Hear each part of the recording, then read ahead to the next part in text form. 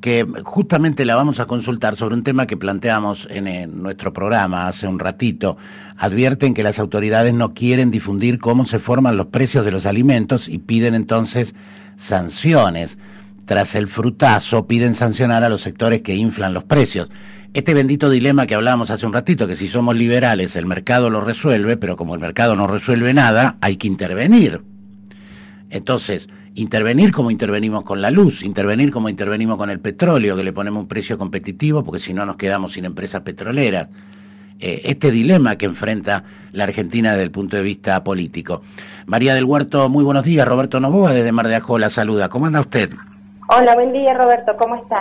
Bien, muy bien. Qué lío que tenemos, ¿no? Con estos sectores productivos, sobre todo de alimentos, de la canasta básica, que claro, estos muchachos son liberales y dicen, no, esto lo resuelve el mercado pero el mercado la verdad que no resuelve un pito porque al productor lácteo le paga nada y al productor de manzanas y peras le paga nada y lo mismo pasa en todos los sectores.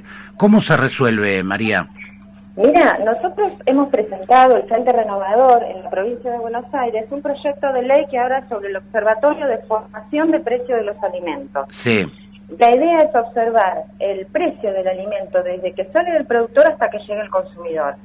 Vos viste que eh, eh, últimamente la, última parte de la cadena, que fueron los grandes supermercados, se han logrado sentar, o sea, en realidad el gobierno logró que se sentaran una sola vez en todo lo que va del año.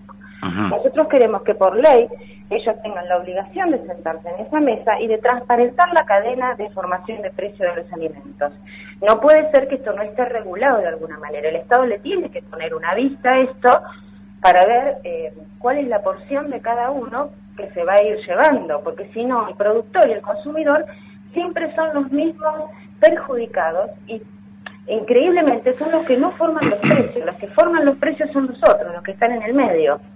Claro. Entonces nosotros creemos que con esta con este observatorio de formación de precios de los alimentos, donde forme un índice y vaya poniendo porcentajes a lo largo de la cadena, la Comisión Nacional de Defensa de la Competencia, la Comisión Nacional de Defensa del Consumidor o la Secretaría de Comercio tiene que intervenir y sancionar duramente, como pasa en Europa, aquellos vivos que eh, remarcan de más. Vos sabés, María, que el, fenómeno lo conocemos y te lo explico rapidito para no robarte mucho tiempo. Nosotros tenemos muchas familias que viven de la pesca artesanal. Cuando salen a la playa con su producción, hay un solo tipo que compra. Entonces les pone el precio. Y hay días que trabajan por nada. Ese tipo que compra lo pone arriba de un camión y lo lleva a Mar del Plata. Y ahí él pierde y gana el de Mar del Plata. ¿Me entendés? Entonces, el Estado no puede mantenerse, el Estado no puede mantenerse ajeno a esto, tiene que intervenir. De ninguna manera puede mantenerse ajeno.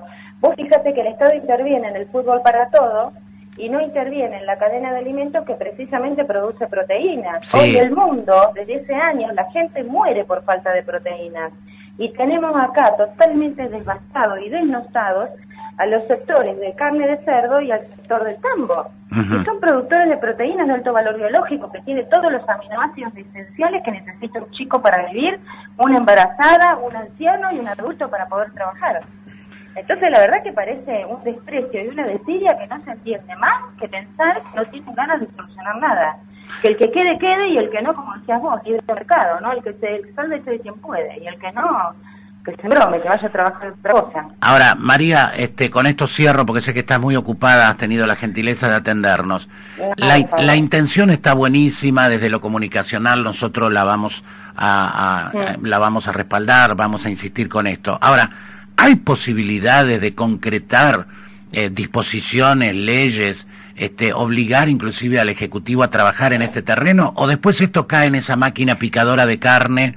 Y, no pasa nada y seguimos pagando la manzana cara y el productor la cobra tres pesos. Y, Mira, nosotros en las comisiones de, de, la provincia de Buenos Aires ya hay dos comisiones que está aprobado el proyecto de ley. Falta entrar en la Comisión de Agricultura, la cual presido y creo que va a salir aprobado y ya se gira al Senado. El tema es que después la gobernadora le ponga la firma para ponerlo en marcha. Porque vos abrís los grandes diarios y la verdad que los grandes diarios están todos subvencionados por las, por las grandes cadenas de supermercados Y vos sabés que los diarios opinan de acuerdo a lo que a lo que le pagan también. Claro. esto es un problema también, que un cuello donde nos vamos a encontrar a ver quién le quiere poner el cascabel al gato, o por lo menos un límite, porque no puede ser, esto ya se sabe, que el supermercado está remarcando entre un 35 y un 50%. A ver, yo no digo que no remarque la cubierta para el auto o alguna funda para, la, para lo que sea, pero no para un alimento. La canasta básica de alimentos, leche, queso, fruta, verdura, carne, tiene que estar bajo la vista del, del Estado y el Estado debe regularlo. Y nosotros, los legisladores, tenemos que bregar por eso. Mientras no estemos en el Ejecutivo y seamos legisladores, tenemos que pelear por esto, para lograr esto. Después será problema del, del Ejecutivo qué es lo que va a querer hacer, pero nosotros tenemos la obligación moral de hacerlo. María, muchísimas gracias por este contacto en la mañana. gracias a este, usted y saludo a tu audiencia, muy amable. Un cariño, gracias, que tengas buen día. Hasta luego.